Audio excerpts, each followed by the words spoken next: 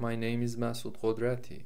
In this tutorial I want to show you the effect of number of elements on factor of safety in slope stability analysis with Plaxis 2021 edition from Bentley software. We use c-phi reduction method in finite element analysis with these geometry for a slope and soil parameters assumptions and Mohr-Coulomb failure criteria. In the first stage we have initial condition and the stress in y direction we have the bottom of model in the left corner 320 kilopascal for six, 68 elements with 15 nodes triangular family mesh we have 1.37 factor of safety.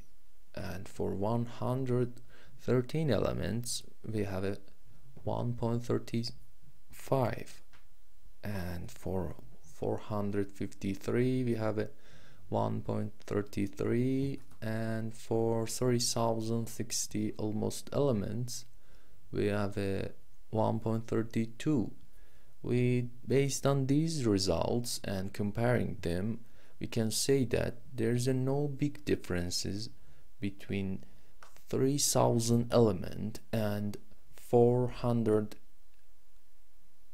element and increasing the number of element from 400 or from 100 element to 3000 elements.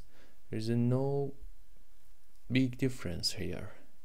And uh, we can use 100 element for uh, our calculation to obtain our accurate results. Thank you from your attention and your concentration